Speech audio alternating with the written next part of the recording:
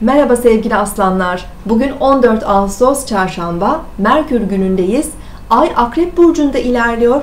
Gün içerisinde ev ve aile hayatınızdaki gelişmeler biraz daha öne çıkabilir. Bugün e, ev ve aile hayatına yoğunlaşsanız da bugün her şey olduğu gibi değil de olmasını istediğiniz gibi görmeye eğilimli olabilirsiniz çok taraflı ya da yüzeysel yaklaşmamaya çalışın olaylara.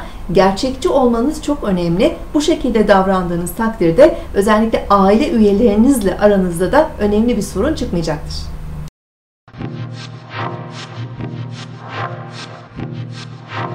Burcunuzu dinlediniz. Bugün 14 Ağustos Çarşamba. Ay Akrep Burcu'nda ilerliyor. Sabah saatlerinde Ay-Mars arasında oluşacak üçgen açı güne oldukça hırslı ve enerjik başlamamıza sebep olabilir. Günlük işlerimiz ve projelerimize bugün daha bir tutkulu şekilde yaklaşabiliriz. Ancak e, öğle saatlerinde Güneş ve Ay arasında oluşacak kare açı özellikle e, karşı cinsle ve otorite kavramlarıyla olan ilişkilerimize biraz dikkat etmemizi gerektiriyor. E, bazı e, çatışmalar, fikir ayrılıkları oluşabilir çok kararlı ve azimli olacağımız için e, bugün amaçlarımız için e, kararlılıkla mücadele edebiliriz. Öğle saatlerinde de ve günün geri kalan kısmında da bu etkiler devam edecek. Akşam ve gece saatlerinde Ay Venüs'te çok güzel olumlu bir açı yapacak.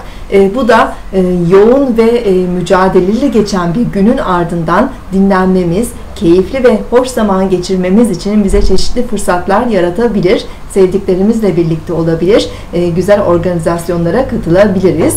Ay gece yarısı 00.31'den itibaren boşluğa girecek. Hoşçakalın.